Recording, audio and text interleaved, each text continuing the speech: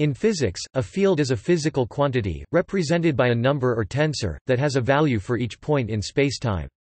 For example, on a weather map, the surface wind velocity is described by assigning a vector to each point on a map. Each vector represents the speed and direction of the movement of air at that point.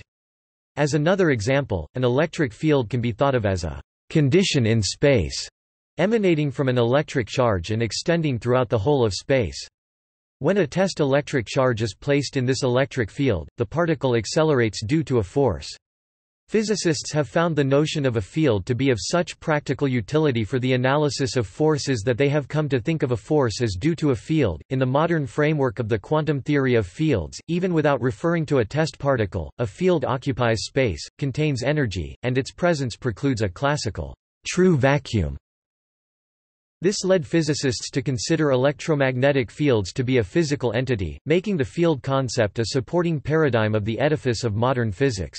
The fact that the electromagnetic field can possess momentum and energy makes it very real.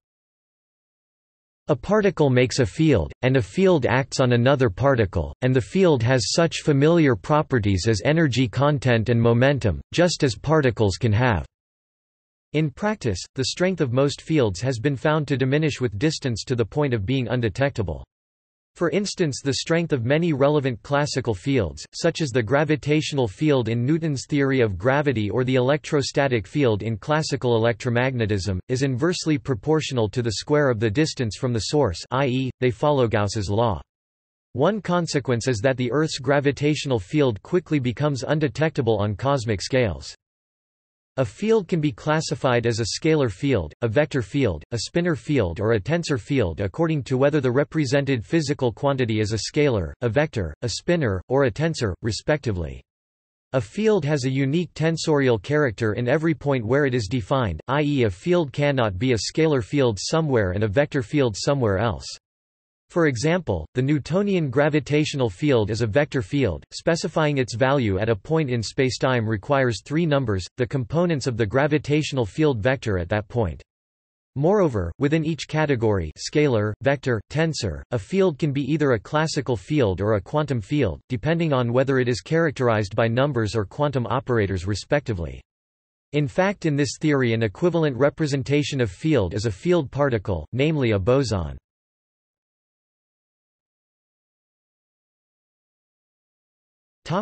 History To Isaac Newton, his law of universal gravitation simply expressed the gravitational force that acted between any pair of massive objects. When looking at the motion of many bodies all interacting with each other, such as the planets in the Solar System, dealing with the force between each pair of bodies separately rapidly becomes computationally inconvenient.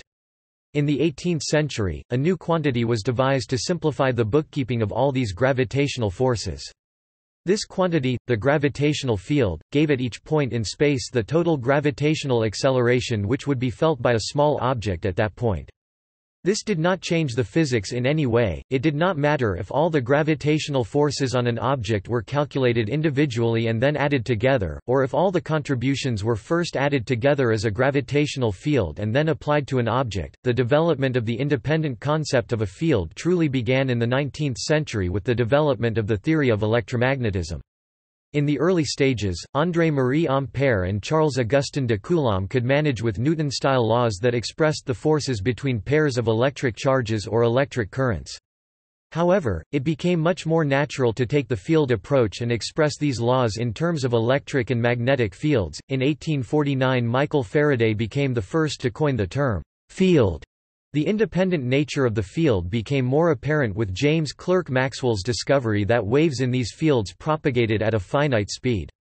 Consequently, the forces on charges and currents no longer just depended on the positions and velocities of other charges and currents at the same time, but also on their positions and velocities in the past. Maxwell, at first, did not adopt the modern concept of a field as a fundamental quantity that could independently exist.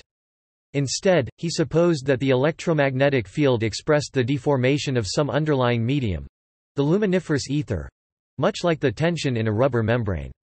If that were the case, the observed velocity of the electromagnetic waves should depend upon the velocity of the observer with respect to the ether. Despite much effort, no experimental evidence of such an effect was ever found. The situation was resolved by the introduction of the special theory of relativity by Albert Einstein in 1905. This theory changed the way the viewpoints of moving observers were related to each other. They became related to each other in such a way that velocity of electromagnetic waves in Maxwell's theory would be the same for all observers. By doing away with the need for a background medium, this development opened the way for physicists to start thinking about fields as truly independent entities. In the late 1920s, the new rules of quantum mechanics were first applied to the electromagnetic fields. In 1927, Paul Dirac used quantum fields to successfully explain how the decay of an atom to a lower quantum state lead to the spontaneous emission of a photon, the quantum of the electromagnetic field. This was soon followed by the realization following the work of Pascual Jordan, Eugene Wigner, Werner Heisenberg, and Wolfgang Pauli that all particles, including electrons and protons, could be understood as the quanta of some quantum field, elevating fields to the status of the most fundamental objects in nature.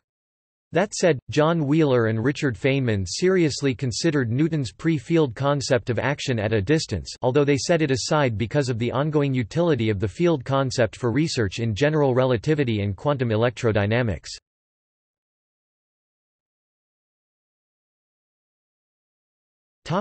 Classical fields There are several examples of classical fields. Classical field theories remain useful wherever quantum properties do not arise, and can be active areas of research. Elasticity of materials, fluid dynamics and Maxwell's equations are cases in point. Some of the simplest physical fields are vector force fields. Historically, the first time that fields were taken seriously was with Faraday's lines of force when describing the electric field. The gravitational field was then similarly described.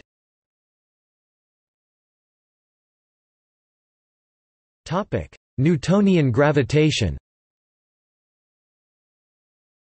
A classical field theory describing gravity is Newtonian gravitation, which describes the gravitational force as a mutual interaction between two masses. Any body with mass m is associated with a gravitational field g which describes its influence on other bodies with mass. The gravitational field of m at a point r in space corresponds to the ratio between force F that m exerts on a small or negligible test mass m located at r and the test mass itself g r equals F r m.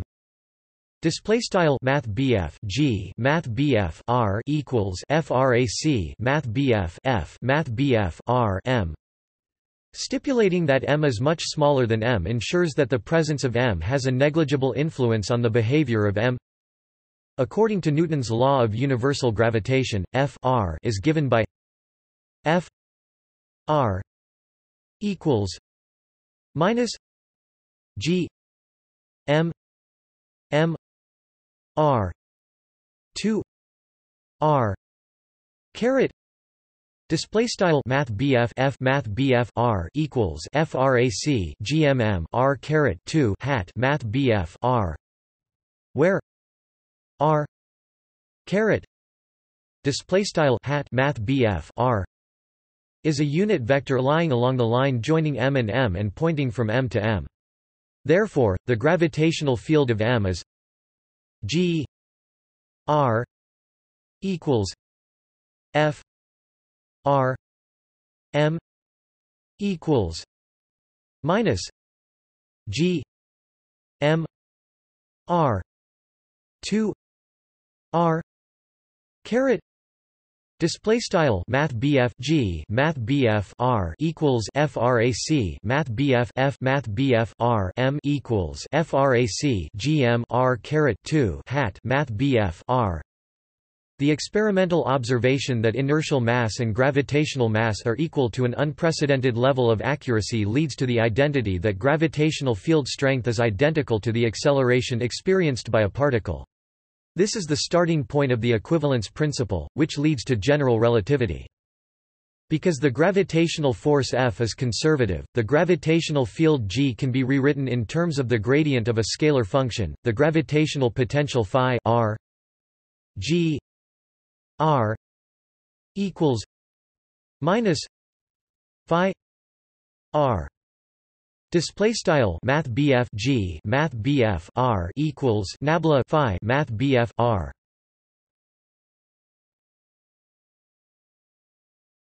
Topic electromagnetism Michael Faraday first realized the importance of a field as a physical quantity, during his investigations into magnetism.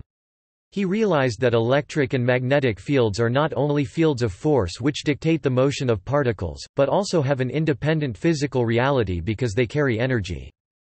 These ideas eventually led to the creation, by James Clerk Maxwell, of the first unified field theory in physics with the introduction of equations for the electromagnetic field. The modern version of these equations is called Maxwell's equations.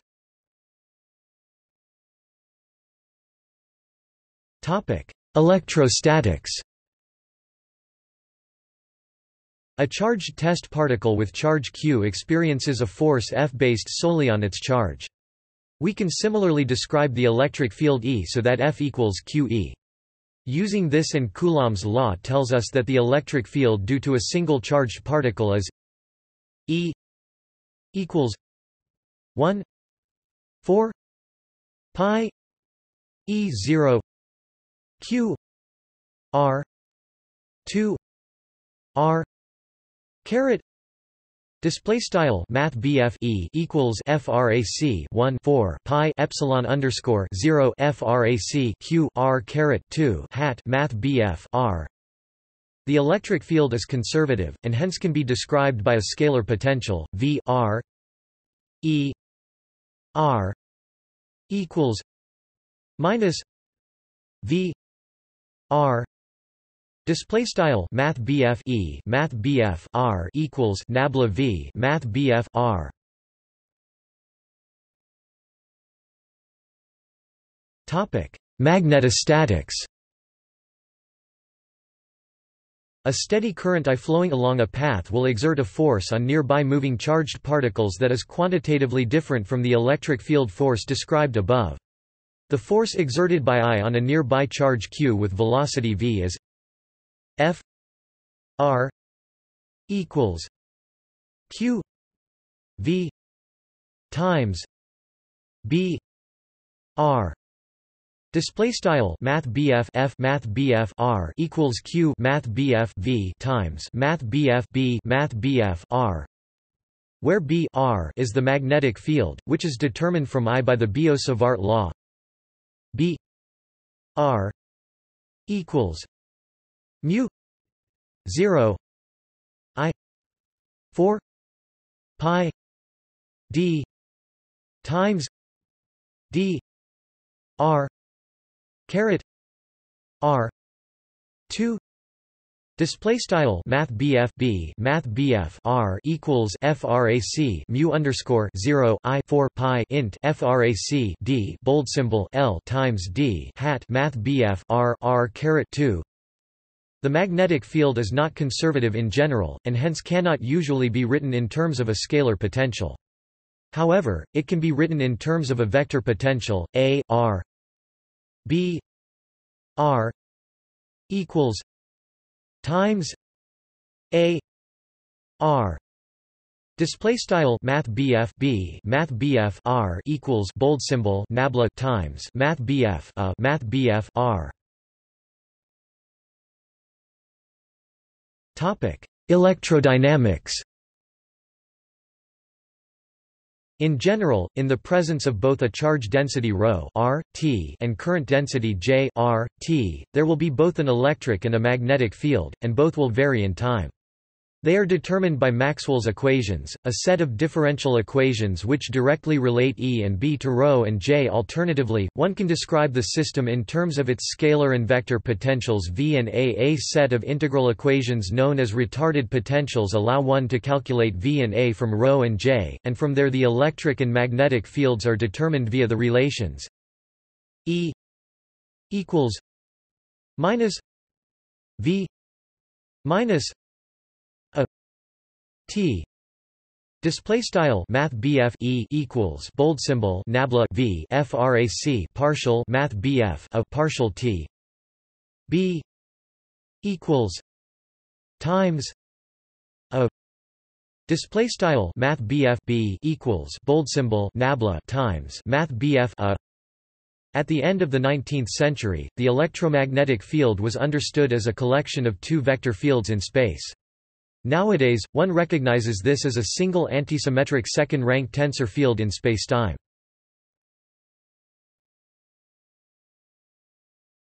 Topic: Gravitation in general relativity. Einstein's theory of gravity, called general relativity, is another example of a field theory. Here the principal field is the metric tensor, a symmetric second-rank tensor field in spacetime. This replaces Newton's law of universal gravitation.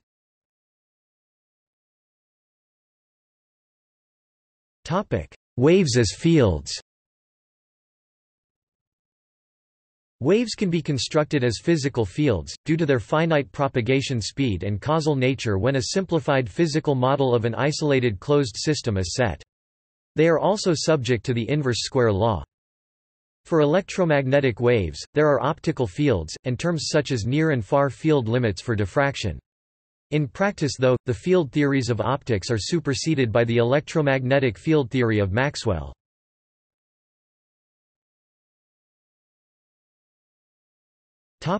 Quantum fields It is now believed that quantum mechanics should underlie all physical phenomena, so that a classical field theory should, at least in principle, permit a recasting in quantum mechanical terms. Success yields the corresponding quantum field theory. For example, quantizing classical electrodynamics gives quantum electrodynamics. Quantum electrodynamics is arguably the most successful scientific theory. Experimental data confirm its predictions to a higher precision to more significant digits than any other theory. The two other fundamental quantum field theories are quantum chromodynamics and the electroweak theory. In quantum chromodynamics, the color field lines are coupled at short distances by gluons, which are polarized by the field and line up with it. This effect increases within a short distance around 1 fm from the vicinity of the quarks making the color force increase within a short distance, confining the quarks within hadrons. As the field lines are pulled together tightly by gluons, they do not bow outwards as much as an electric field between electric charges. These three quantum field theories can all be derived as special cases of the so-called standard model of particle physics. General relativity, the Einsteinian field theory of gravity, has yet to be successfully quantized. However an extension, thermal field theory, deals with quantum field theory at finite temperatures, something seldom considered in quantum field theory. In BRST theory one deals with odd fields, e.g. Faddeev-Popov ghosts. There are different descriptions of odd classical fields both on graded manifolds and supermanifolds. As above with classical fields, it is possible to approach their quantum counterparts from a purely mathematical view using similar techniques as before. The equations governing the quantum fields are in fact PDEs specifically, relativistic wave equations RWEs. Thus one can speak of Yang-Mills, Dirac, Klein-Gordon and Schrödinger fields as being solutions to their respective equations. A possible problem is that these RWEs can deal with complicated mathematical objects with exotic algebraic properties e.g. spinors are not tensors, so may need calculus over spinor fields, but these in theory can still be subjected to analytical methods given appropriate mathematical generalization.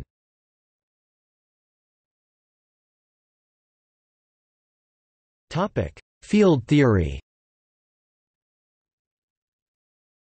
Field theory usually refers to a construction of the dynamics of a field, i.e. a specification of how a field changes with time or with respect to other independent physical variables on which the field depends. Usually this is done by writing a Lagrangian or a Hamiltonian of the field, and treating it as a classical or quantum mechanical system with an infinite number of degrees of freedom. The resulting field theories are referred to as classical or quantum field theories. The dynamics of a classical field are usually specified by the Lagrangian density in terms of the field components. The dynamics can be obtained by using the action principle.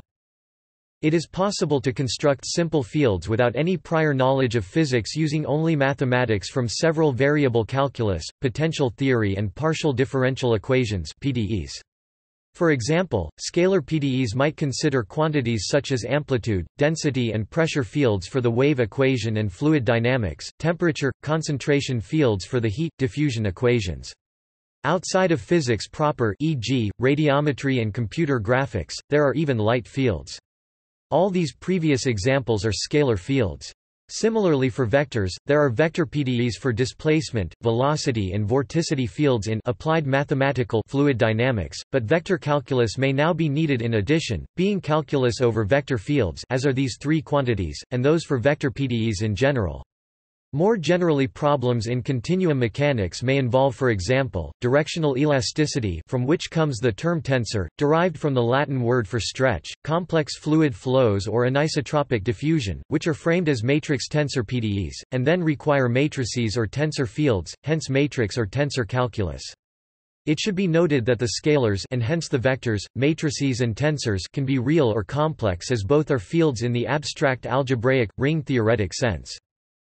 In a general setting, classical fields are described by sections of fiber bundles and their dynamics as formulated in the terms of jet manifolds covariant classical field theory. In modern physics, the most often studied fields are those that model the four fundamental forces which one day may lead to the unified field theory.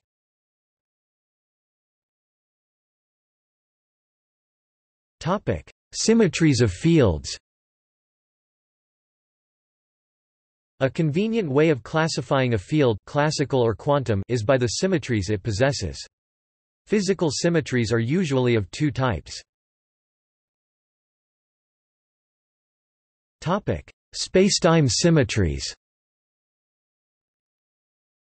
Fields are often classified by their behavior under transformations of spacetime. The terms used in this classification are Scalar fields such as temperature whose values are given by a single variable at each point of space. This value does not change under transformations of space. Vector fields such as the magnitude and direction of the force at each point in a magnetic field which are specified by attaching a vector to each point of space. The components of this vector transform between themselves contravariantly under rotations in space. Similarly, a dual or co vector field attaches a dual vector to each point of space, and the components of each dual vector transform covariantly. Tensor fields, such as the stress tensor of a crystal specified by a tensor at each point of space. Under rotations in space, the components of the tensor transform in a more general way which depends on the number of covariant indices and contravariant indices. Spinor fields such as the Dirac spinor arise in quantum field theory to describe particles with spin which transform like vectors except for the one of their component. In other words, when one rotates a vector field 360 degrees around a specific axis, the vector field turns to itself. However, spinors would turn to their negatives in the same case. Topic: Internal symmetries. Fields may have internal symmetries in addition to spacetime symmetries. In many situations, one needs fields which are a list of spacetime scalars, phi1, phi2, phi-n.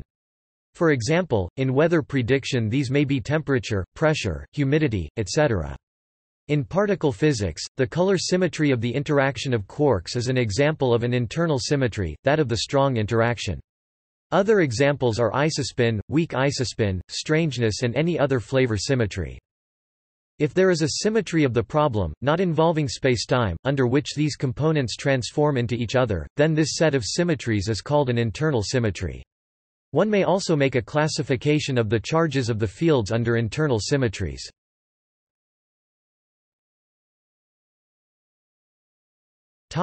Statistical field theory Statistical field theory attempts to extend the field-theoretic paradigm toward many body systems and statistical mechanics. As above, it can be approached by the usual infinite number of degrees of freedom argument. Much like statistical mechanics has some overlap between quantum and classical mechanics, statistical field theory has links to both quantum and classical field theories, especially the former with which it shares many methods. One important example is mean field theory. Topic: Continuous random fields. Classical fields as above, such as the electromagnetic field, are usually infinitely differentiable functions, but they are in any case almost always twice differentiable. In contrast, generalized functions are not continuous. When dealing carefully with classical fields at finite temperature, the mathematical methods of continuous random fields are used, because thermally fluctuating classical fields are nowhere differentiable. Random fields are indexed sets of random variables. A continuous random field is a random field that has a set of functions as its index set. In particular, it is often mathematically convenient to take a continuous random field to have a Schwartz space of functions as its index set, in which case the continuous random field is a tempered distribution. We can think about a continuous random field, in a very rough way, as an ordinary function that is plus or minus infinity Display style PM t almost everywhere, but such that when we take a weighted average of all the infinities over any finite region, we get a finite result. The infinities are not well defined, but the finite values can be associated with the functions used as the weight functions to get the finite values, and that can be well defined. We can define a continuous random field well enough as a linear map from a space of functions into the real numbers.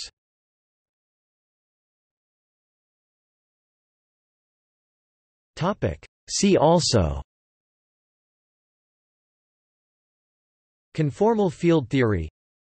Covariant Hamiltonian field theory. Field strength. History of the philosophy of field theory. Lagrangian and Eulerian specification of a field. Scalar field theory. Notes